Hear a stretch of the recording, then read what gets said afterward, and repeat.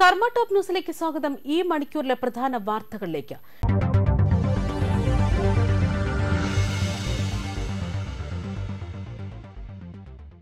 വീണയും എക്സാലോജി കമ്പനിയും നിലവിൽ പുറത്തു വന്നതിനേക്കാൾ കോടിക്കണക്കിന് രൂപ കൈപ്പറ്റിയിട്ടുണ്ട്.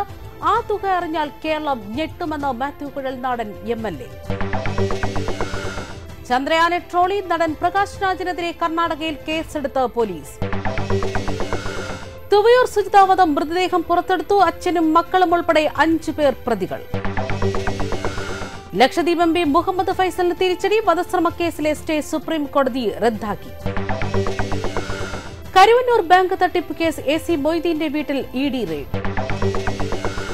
Yogi Adityanath ഭാവി ഇന്ത്യൻ പ്രധാനമന്ത്രി രജനീകാന്ത് കാലുവന്ദിച്ചതിൽ അത്ഭുതമില്ലെന്ന് കോൺഗ്രസ് നേതാവ് ഉദിത് രാജ. പൊതുപ്രവർത്തനത്തിൽ നിന്ന് മറന്നീൽക്കാൻ ആഗ്രഹം പറയാനുള്ളത് പുതുപ്പള്ളി തിരഞ്ഞെടുപ്പിന് ശേഷം പറയാമെന്ന് കെ മുരളീധരനും ചെന്നിത്തലയും. സി പി എം നേതാക്കളുടെ വീട്ടിലെ ഇ ഡി റെയ്ഡിനെ കുറിച്ച് സി പി എം വിശദീകരിക്കണമെന്ന് കേന്ദ്രമന്ത്രി വി മുരളീധരൻ.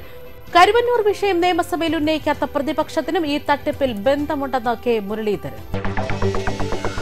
കോഴിക്കോട് മുക്കത്ത് ഭാര്യയെ വെട്ടിപ്പരിക്കേൽപ്പിച്ചതിന് പിന്നാലെ രക്ഷപ്പെട്ട ഭർത്താവ് തൂങ്ങി മരിച്ചു